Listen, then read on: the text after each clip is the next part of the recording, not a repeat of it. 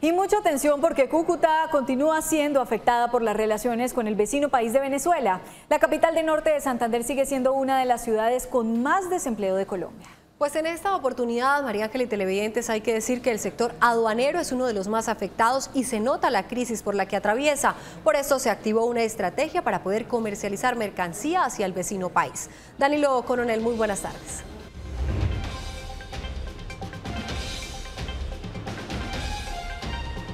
Hola compañeros, ¿qué tal? Buenas tardes. Pues hacia La Guajira fue enviada la mercancía represada en Cúcuta para ser comercializada hacia Venezuela. La crisis con el vecino país tiene represado toneladas de productos hace ya más de un mes.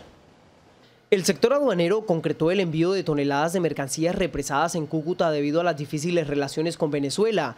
La Guajira será la salida a la comercialización hacia el vecino país. Al cerrarse la frontera, eh, desconocíamos que en La Guajira no ocurrió lo mismo la Guajira, de acuerdo por ser frontera con Venezuela, ha seguido operando pasando la carga. Los bloqueos en los puentes internacionales ubicados en norte de Santander obligó a redireccionar la mercancía.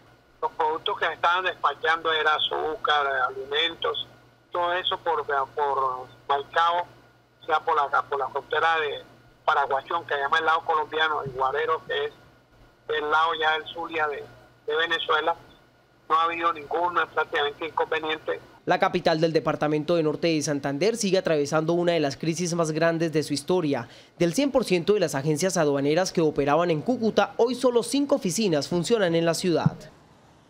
Muy bien, pues operarios administrativos y personales de servicios generales se lideran un despido del 80%, aumentando la tasa de desempleo en Cúcuta, que se encuentra ya entre las cinco ciudades con más desocupación laboral.